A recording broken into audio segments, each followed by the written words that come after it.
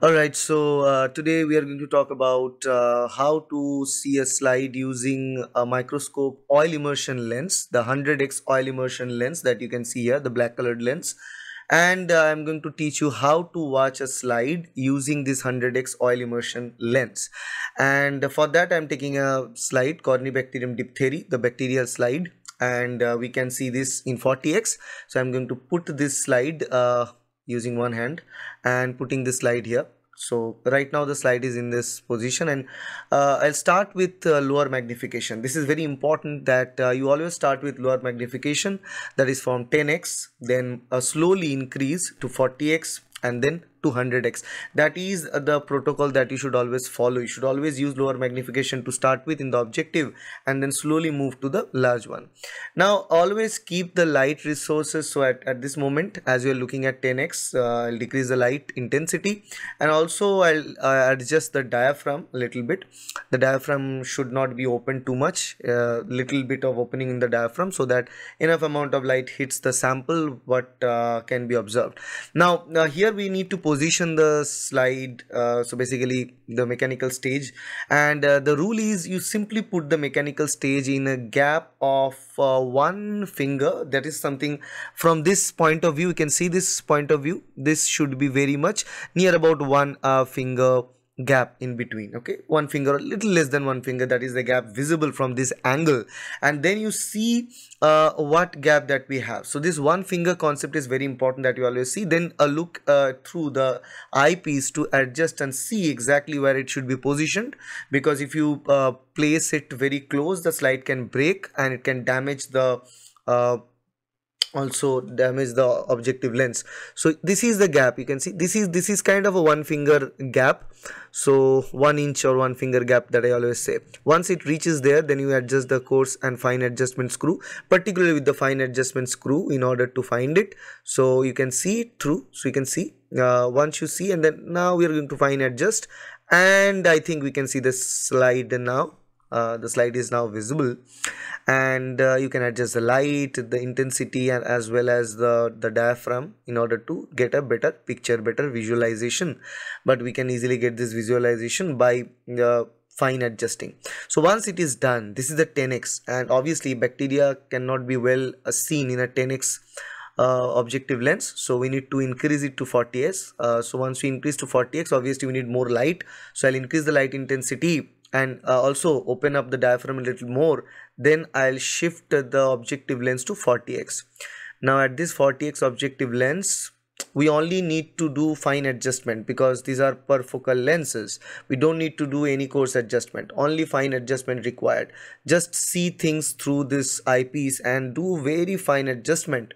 And you can see it with fine adjustment we can clearly see the slide. We can clearly see uh, our content whatever content that we want to see it is visible at this particular moment so now you can see if I do the fine adjustment we are going to see the slide. You can see the uh, blue dots here out there. These are the call these are the you know Corynebacterium diphtheri. Very small, very faintly visible, but you know, obviously because we are uh, re-recording the same picture with uh, the camera, that's why now you can probably see the the blue colored dot structures out there. These are Corynebacterium diphtheri, okay, blue blue dots that you can see, okay. These are all Corynebacterium diphtheri, and it is uh, visible. Uh, if I zoom in, you're going to see it a little bit uh, more clearly but uh, that's not because this is not a traditional way of seeing it uh, when you see it through your eye it is even more clear. The picture is more clear and the contrast is also better. The zoom version can give you a better idea. You can see these blue dots. Yeah these are the bacteria. These are corynebacterium diphtheri you can see. Okay? The clarity is not good because we are re-recording it in multiple levels. That's why it's not that clear. But actually the point is that uh, you can see things through it. So once it is visible using 40x objective lens now it's time to put it under 100x oil immersion. And for that we need to apply oil. So we use synthetic oil. Do not use cedarwood oil because cedarwood oil can stick itself to the glass. So don't use it. Use synthetic oil. It's easily available. Price is also very low. We need to put this oil one drop of it to the top of the cover slip.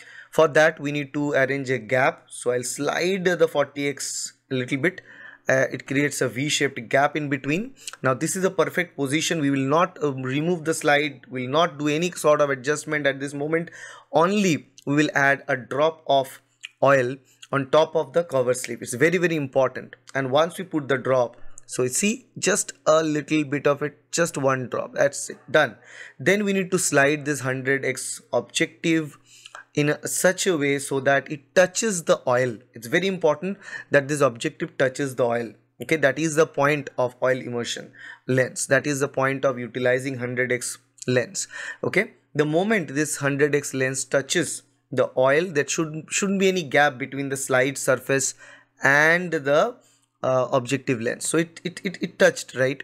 At this moment it's touched. And remember that when you are looking any object under the microscope using 100x lens uh, the diaphragm should be opened and also the the light source should be at the full power. It's very important. And we do the fine adjustment a little bit and you are going to see uh, the, the the bacteria quite easily. Now you may need to do a little bit of fine adjustment out there. But remember one thing and that thing is most important and that is the use of diaphragm the use of light resources. We'll increase the light resources to the maximum and we open up the diaphragm. The diaphragm is fully open and the light source is fully on and you can see the colony now. The blue one now you can see much clearer than the 40x one earlier okay the diaphragm must be opened up a little bit more.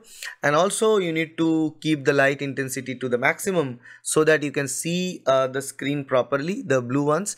Uh, it is shaky because of the higher magnification and I am holding one camera in one hand and operating the microscope on the other hand that causes this sort of shakiness and vibrations. But you can clearly see these are the bacterial colony.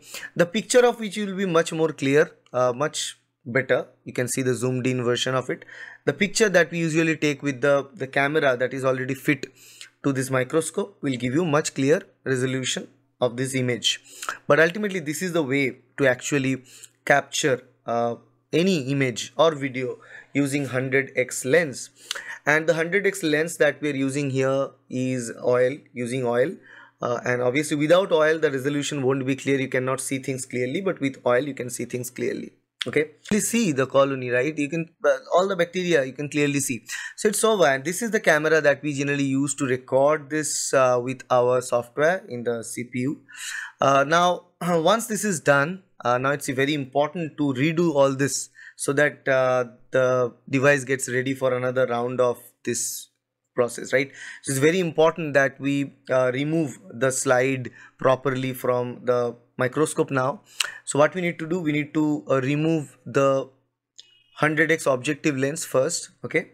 And uh, once we remove the objective how to do the simple simple remove of objective from the from the slide okay? Slowly we'll turn it to the opposite direction to the counterclockwise direction okay?